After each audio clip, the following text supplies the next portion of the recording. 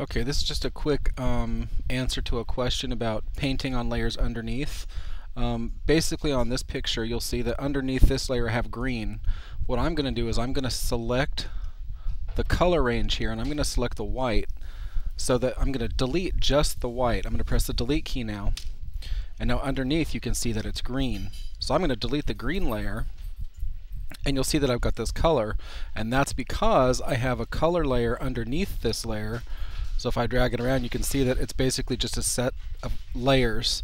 So that's what I was doing with painting underneath. And then if the color was too bright, I dropped the opacity down to make it a little bit more subtle color.